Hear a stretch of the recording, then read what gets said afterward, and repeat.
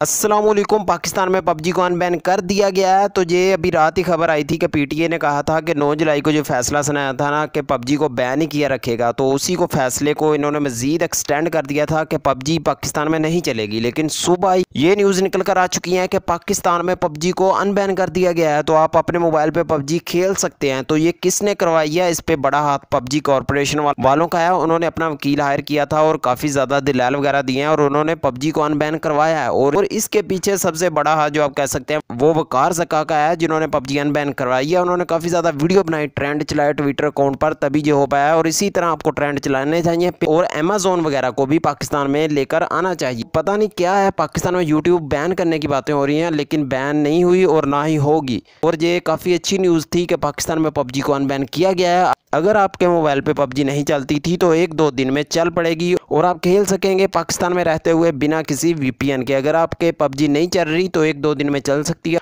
और किसी के मोबाइल पे तो चल भी रही है ये पबजी, और जल्द आपके मोबाइल पे भी चल पड़ेगी अगर नहीं चल रही थी। ये थी आज की एक अपडेटेड न्यूज़ वीडियो आपके लिए मिलते हैं नेक्स्ट वीडियो में। लाफिज़।